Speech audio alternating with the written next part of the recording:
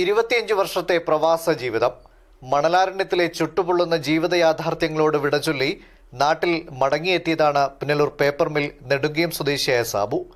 എന്നാൽ കോവിഡ് വ്യാപനത്തോടെ നാടടച്ചിട്ടപ്പോൾ മാനസിക ഉല്ലാസത്തിനായിട്ടാണ് കിളികളെ വളർത്താൻ സാബു തുടങ്ങിയത്. അവയ്ക്കായി നല്ല കൂടുകൾ ഒരുക്കി ഹിഞ്ചസ് നാടൻ ലോബേഡ്സ് ബേഡ്സ് എന്നിവയെ എത്തിച്ച് പരിപാലിച്ചു. പിന്നീട് അവയുമായി ചങ്ങാത്തം തുടങ്ങിയതോടെയാണ് അവശേഷിക്കുന്ന സ്ഥലത്ത് കോഴികളെ കൂടി വളർത്താനുള്ള ആശയം ഉടലെടുത്തത്.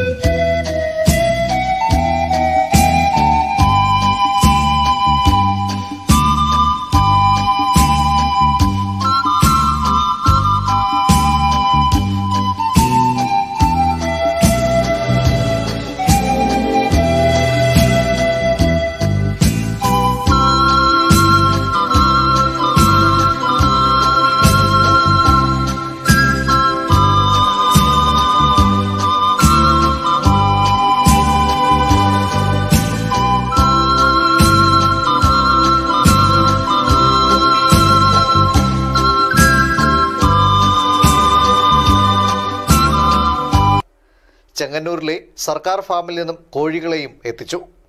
ചുരുങ്ങിയ സമയം കൊണ്ട് തന്നെ സാബുവിന്റെ കോഴി ഫാം വിപുലപ്പെട്ടു.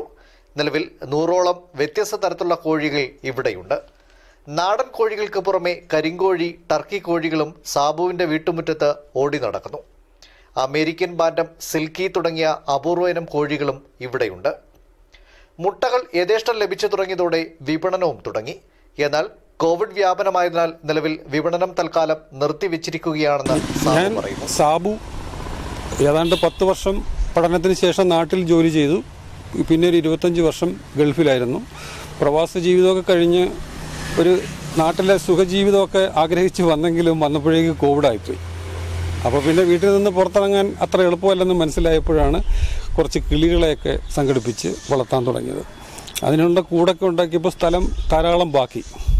പിന്നെ എന്താകാം എന്ന് അന്വേഷിച്ചപ്പോഴാണ് ഗവൺമെന്റ് ഫാമിൽ നിന്ന് തന്നെ കോഴികളെ വളർത്താൻ കിട്ടുന്ന കാര്യം മനസ്സിലായത്. അങ്ങനെ ചെങ്ങന്നൂർ പോയി കുറേ കോഴിക്കുഞ്ഞുങ്ങളെ വാങ്ങി. കുറച്ചേ ഉണ്ടായിരുന്നുള്ളൂ. അതിനെ പറ്റിയ കൂടുകളൊക്കെ ഉണ്ടാക്കി. പിന്നെ കൂടുതൽ കൂടുതൽ കോഴികൾ കിളികൾ എല്ലാമായിട്ട് സംഘടിപ്പിച്ചിട്ടുണ്ട്. വളരെ ടൈം പാസ് മാത്രം ലക്ഷ്യമാക്കിയിട്ടുള്ള ഒരു പരിപാടി ആയതുകൊണ്ട് വളരെ സംതൃപ്തി നൽകുന്ന ഒരു ജീവിതമാണ് ഇപ്പോൾ ഉള്ളത്. ഈ കിളികളെയൊക്കെ വളർത്തി അതിൽ നിന്ന് ഇഷ്ടം പോലെ വളമൊക്കെ ആയപ്പോൾ കുറച്ച് ചെടികളുടെ പരിപാടികൾ വിപുലപ്പെടുത്തി പച്ചക്കറി ആരംഭിച്ചു. ഇപ്പം എല്ലാം കൊണ്ട് പരസ്പരം ബന്ധിതമായിട്ട് വളരെ നന്നായി കാര്യങ്ങൾ പോകുന്നു.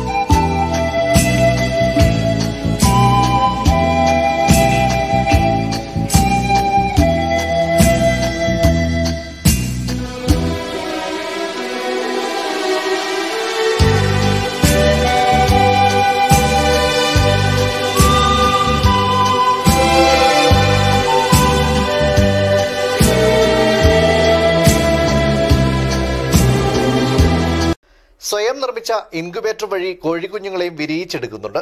കിളികളുടെ കാഷ്ടം വളമായി ഉപയോഗിച്ച് പച്ചക്കറി തൈകളും നട്ടുപിടിപ്പിച്ചിട്ടുണ്ട് ഈ ചെറിയ ഫാമിൽ. വീടിന് ചുറ്റുമുള്ള ഓരോ സ്ഥലവും പച്ചക്കറി ഉൽപാദനത്തിനായി സാബു വിനിയോഗിക്കുന്നു. മുട്ട ഉൽപ്പാദനത്തിനു പുറമെ വിഷരഹിതമായ പച്ചക്കറി കൂടി ഉൽപ്പാദിപ്പിക്കാനുള്ള ശ്രമത്തിലാണ് സാബു ഇപ്പോൾ. ലോക്ഡൌൺ തീർത്ത വിരസതയൊക്കെ മറികടന്ന് ഇപ്പോൾ പൂർണസമയം ഫാമിന്റെ പ്രവർത്തനങ്ങളിൽ വ്യാപൃതനായതോടെ തികച്ചും സംതൃപ്തനാണെന്നും സാബു പറയുന്നു.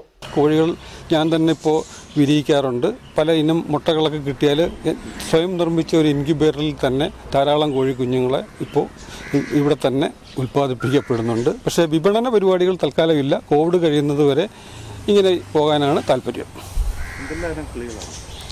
ആ, കിളികൾ പ്രധാനമായിട്ടും ആ, ഭിഞ്ചസും സാധാ ലവ് ബേഡ്സുമാണ് ഇപ്പോൾ ഉള്ളത്. നേരത്തെ തുടക്കത്തിൽ കുറേ വ്യത്യസ്തമായ ആഫ്രിക്കൻ ലവ് ബേഡൊക്കെ ഉണ്ടായിരുന്നെങ്കിലും പരിചയക്കുറവും പിന്നെ ഈ കോവിഡ് കാലം കാരണമുള്ള അസൗകര്യങ്ങൾ കാരണം കുറേയൊക്കെ നഷ്ടപ്പെട്ടു പോയി പ്രാവുകളൊക്കെ കുറേ ഉണ്ടായിരുന്നു. ഇനി അത് പിന്നീട് ആരംഭിക്കുന്നുള്ളൂ. ഇപ്പോൾ തൽക്കാലം കൂടുതലും കോഴികളാണ്. മുട്ട വിൽക്കാനൊന്നും അധികം ഇല്ലെങ്കിലും അത്യാവശ്യത്തിന് കിട്ടുന്നുണ്ട്. കോഴികൾ എത്ര കോഴികൾ എല്ലാം കൂടി ഏകദേശം നൂറെണ്ണത്തോളം ഉണ്ട്. അത് തന്നെ കരിങ്കോഴിയുണ്ട് ടർക്കി കോഴിയുണ്ട് ഏ, സാധ ഗവൺമെന്റ് ഫാമിൽ നിന്ന് കിട്ടിയ ഗ്രാമശ്രീ നാടൻ കോഴികളുണ്ട്. Fancy കോഴികളിലാണെങ്കിൽ American bantam American silky silver fayoumi അങ്ങനെ കുറേ ഐറ്റംസ് ഒക്കെ ഉണ്ട്.